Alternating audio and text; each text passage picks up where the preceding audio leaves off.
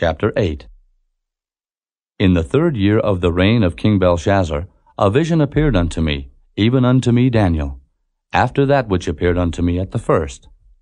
And I saw in a vision, and it came to pass, when I saw that I was at Shushan in the palace, which is in the province of Elam. And I saw in a vision, and I was by the river of Ulai. Then I lifted up mine eyes, and saw, and behold, there stood before the river a ram which had two horns, and the two horns were high, but one was higher than the other, and the higher came up last.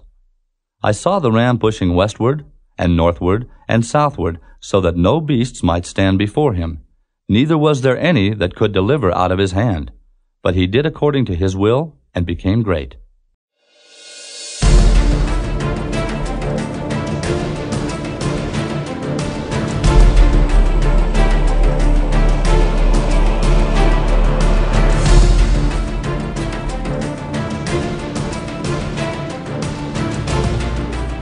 Nabonidus, Belshazzar's father, wrested Babylon from Nebuchadnezzar's son, evil Merodach.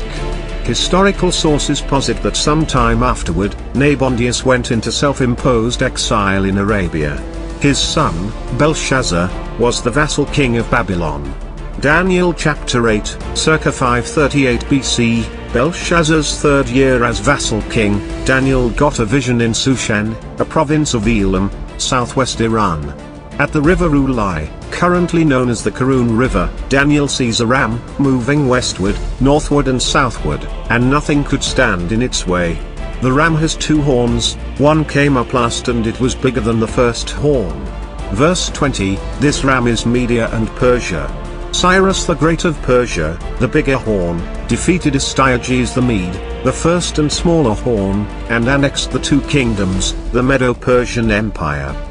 Verse 5 And as I was considering, behold, an he goat came from the west on the face of the whole earth, and touched not the ground, and the goat had a notable horn between his eyes. Verse 6 And he came to the ram that had two horns, which I had seen standing before the river, and ran unto him in the fury of his power.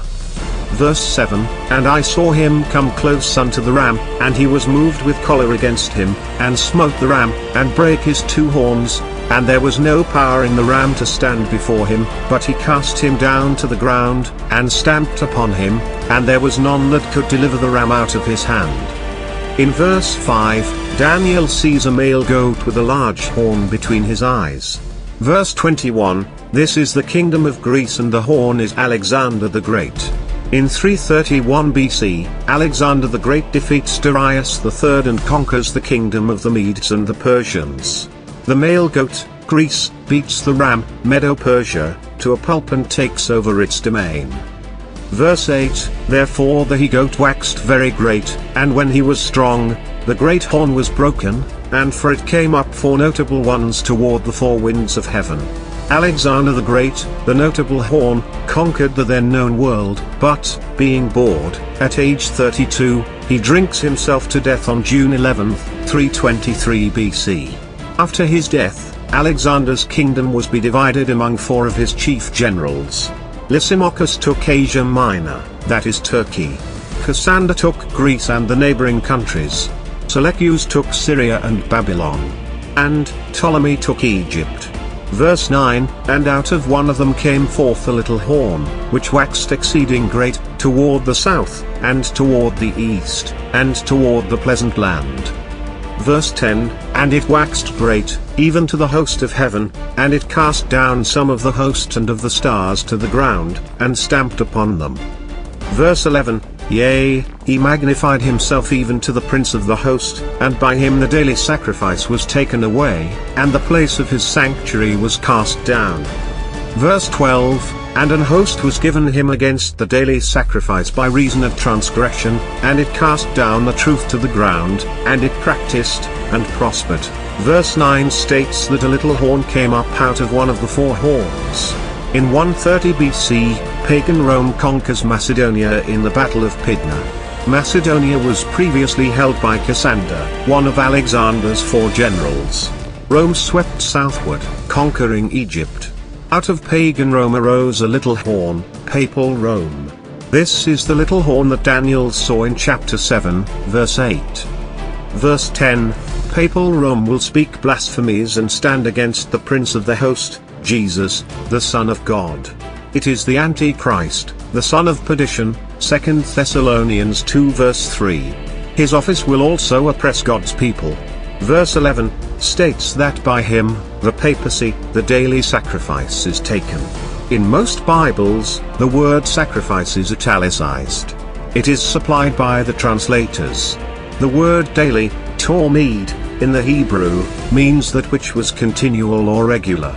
The little horn ends, or takes away, that which was regular. But what did he take away? Pagan Rome.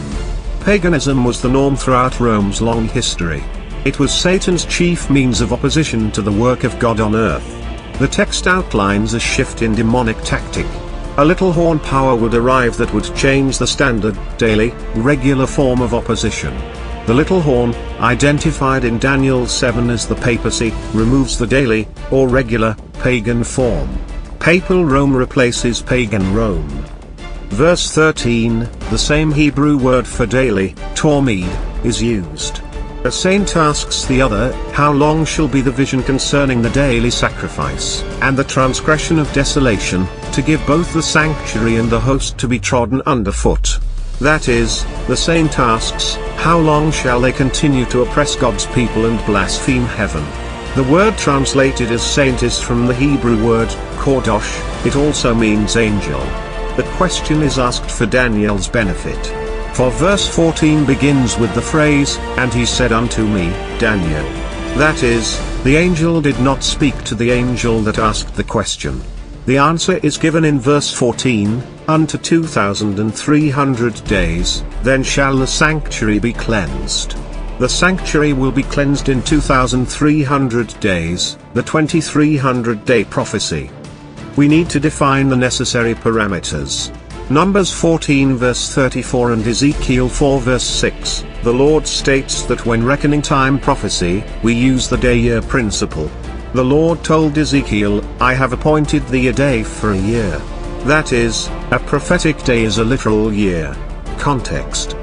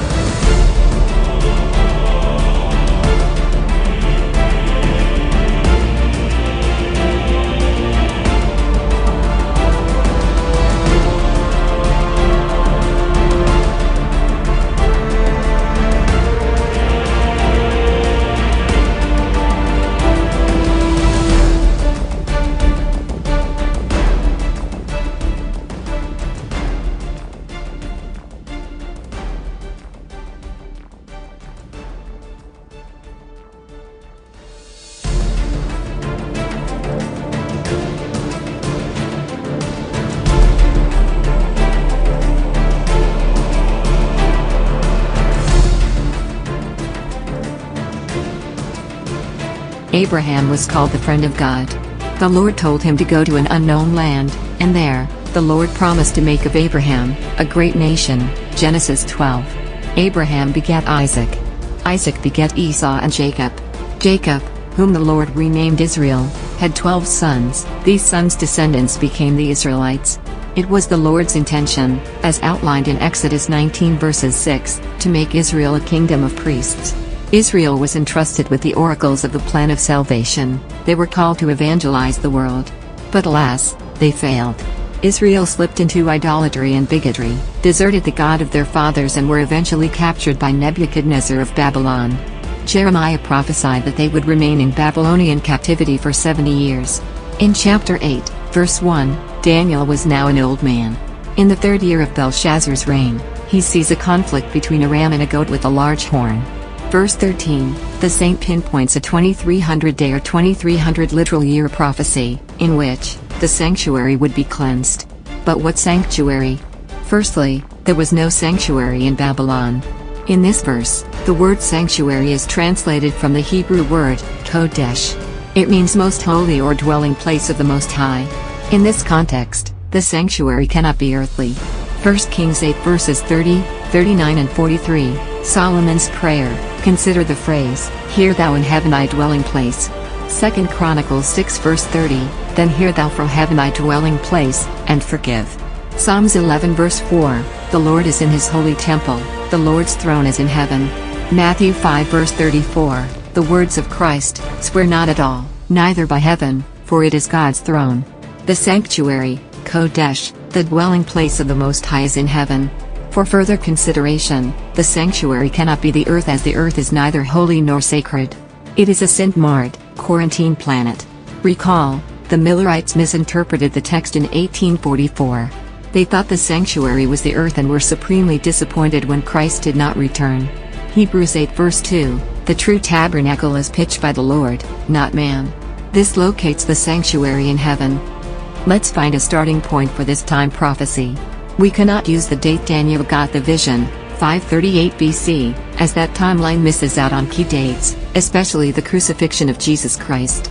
Isaiah 45 verse 1, Thus saith the Lord to his anointed, to Cyrus, whose right hand I have holden, to subdue nations before him. Isaiah wrote this text in the 8th century BC, in 559 BC Cyrus begun his ascendancy. Note. The Lord calls Cyrus by name over 150 years before he was born, and gave him the kingdoms of the earth. Ezra chapter 1, verse 2, Cyrus the Great, king of Persia, Iran, issues a command to build God's temple in Jerusalem. Cyrus began outfitting the Jews with gold and other materials to get the work done. In Ezra chapter 7, verses 1 to 27, Cyrus is now dead. Artaxerxes the new king of Persia notices Nehemiah's sadness and desired to look into it to which, Nehemiah stated that his sadness is rooted in the destruction of Jerusalem. In autumn 457 BC, Artaxerxes gave Nehemiah the charge to execute Cyrus' decree to rebuild Jerusalem. This date, autumn 457 BC, is the jump-off point for the 2,300-day prophecy. With this starting point, there is perfect harmony in the application of all the events foretold in the explanation of that 490-day prophecy in Daniel 9 verse 25 to 27. Specifically, verse 25, Now therefore and understand, that from the going forth of the commandment to restore and to build Jerusalem unto the Messiah the Prince shall be seven weeks, and threescore and two weeks, the street shall be built again, and the wall, even in troublous times. We have stated previously that in autumn 457 BC Artaxerxes gave Nehemiah the charge to rebuild Jerusalem. Thus, 457 BC is the starting point of the 2300-day prophecy.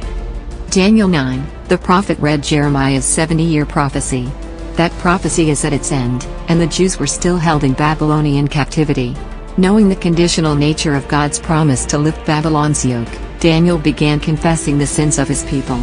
Immediately, the Lord sent Gabriel, flying light years faster than the speed of light, with a startling message. Verse 24, the angel says, 70 weeks are determined for your people and for your holy city, to finish the transgression, to make an end of sins, to make reconciliation for iniquity, to bring an everlasting righteousness, to seal up vision and prophecy, and to anoint the most holy. That is, for 70 weeks or 490 days, or 490 literal years, the gospel would be preached only to the Jews. Using the start date of 457 BC, this time period would end in 34 AD. Verse 25. There would be seven weeks, and three score and two weeks, that is, a 69-week period, 483 literal years, until Messiah the Prince. In AD 27, John baptized Jesus, Messiah the Prince, 483 years into the 2,300-day prophecy. Verse 26, after the 62nd week, in the middle of the next week, the midpoint of the next literal seven years, the Messiah will be cut off, crucified. In AD 31, Jesus was crucified. Verse 27 states that the covenant would be confirmed. Recall, at his crucifixion, Jesus told his Father, It is finished. The Jews would subsequently seal their own fate. AD 34, Acts 7 verse 59, Stephen is stoned. Herein, Israel as a nation sealed its rejection of Christ. The persecuted disciples and the apostles began to preach to the Gentiles, 490 years of the 2,300 years have ended, and 1,810 years remain. From AD 34, 1,810 years extend to 1844. Then, said the angel, shall the sanctuary be cleansed. From the stoning of Stephen, there are 1,810 years left for the sanctuary to be cleansed. We revisit Daniel 8 verse 14.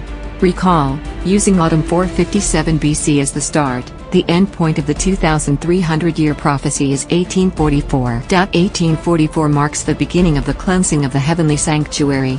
A quick synopsis of a ceremonial practice sheds light on the cleansing of the sanctuary.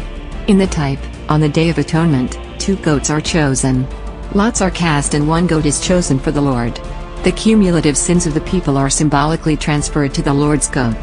The high priest, for example, Aaron kills the goat selected to belong to the Lord.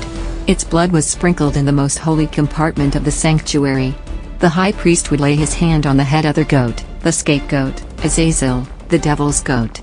He symbolically transfers the sins of the people to the scapegoat. This act is a symbol of the cleansing of the temple and the sins that accumulated there.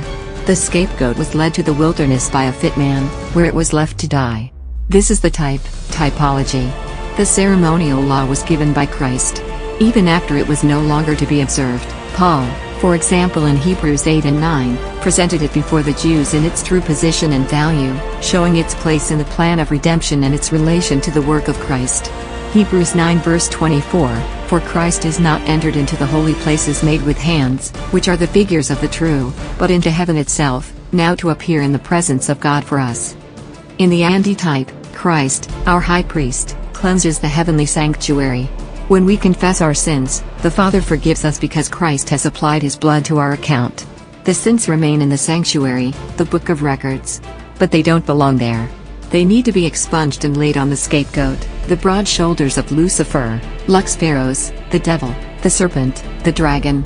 Recall, Matthew 25 verse 41, Jesus says that hellfire was prepared for the devil and his angels. We choose to join the devil there when we refuse to give up our sins. Revelation 14's first angel shouts, Fear God and give glory to him for the hour of his judgment is come. 1 Peter 4 verse 17, Judgment begins at the house of the Lord. Daniel 7 verse 13, Jesus goes to the Ancient of Days, with the clouds of heaven. The bridegroom cometh, as typified in the parable of the ten virgins, but not to the earth as the 1844 Millerites expected, but to the Ancient of Days, God the Father. Daniel 7 verse 14 dovetails into John's vision of the first angel's message, Revelation 14 verses 6 and 7, in that, Christ receives worship from all flesh. The cleansing of the heavenly sanctuary begun in 1844, judgment is afoot. Matthew 16 verse 27, when Christ returns, his reward is with him. This presupposes a judgment phase that determines what the reward will be. John 5 verse 22, The Father judgeth no man but has committed all judgment unto his Son. Christ is the judge. Isaiah 33 verse 22, There is one judge and one lawgiver. Jesus is the lawgiver, Jesus is the judge. 1 Peter 4 verse 17, Christ judges us first. As a matter of fact, all who ever lived on this earth, who claim to belong to Christ, are investigated. Our fitness for eternal life is being determined. After which, the Father blots out the sins of the righteousness and our confessed sins are being placed on the devil and his angels, where it rightfully belongs. In Matthew 22, the parable of the wedding feast, Jesus gives insight into this investigative process, the cleansing of the sanctuary. In the parable, the king throws out folk that didn't have the proper wedding garment, verse 11. This is the crux of the events after 1844. Before anyone can join the wedding feast of the Lamb, the guest must wear the proper wedding attire, they must have robes washed in the blood of the Lamb, Revelation 7 verse 14. They must have shown they love Jesus. John 15:10, Jesus says, If you love me, keep my commandments. Hence, there must of necessity be an inspection, an investigation, an investigative judgment. Who is worthy? Who has given his life completely to Jesus and is deemed worthy to stand? Revelation 22 verse 14, Blessed are they that do his commandments, that they may have right to the tree of life, and may enter in through the gates into the city. When the work of investigation shall be ended, when the cases of those who in all ages have professed to be followers of Christ have been examined and decided, then, and not till then, probation will close, and the door of mercy will be shut forever. Jesus stops interceding before the Father on the behalf of the sinner. The Holy Spirit withdraws from the earth. Revelation 22 verse 11, God issues the command, He that is unjust, let him be unjust still, and he which is filthy, let him be filthy still, and he that is righteous, let him be righteous still, and he that is holy, let him be holy still. Verse 12, Jesus says, And, Behold, I come quickly, and my reward is with me, to give every man according as his work shall be. Beloved, the 2300 day prophecy is the longest time prophecy in the Bible. There are no more time prophecies to be fulfilled, we are living on borrowed time. Hebrews 3 verse 15, Today if you hear the Holy Spirit's voice harden not your heart. The Lord is at this moment postponing his coming. The postponement is not indefinite, as Daniel says, Michael the archangel will stand up. And when he does, the doors of probation, at this time kept ajar on the hinges of mercy, will be shut. And for those who choose to be lost, it'd be eternally too late. The Father gave us His only begotten Son, Jesus Christ, God the Son, as a substitute for our sins. After Jesus' resurrection, the Father gave us, Jesus' substitute, vice-regent, vicar, the third person of the Godhead, God the Holy Spirit. Today, He draws hearts, young and old, male and female to the cross of Christ. God is love and wants to save us. Let's determine to be saved.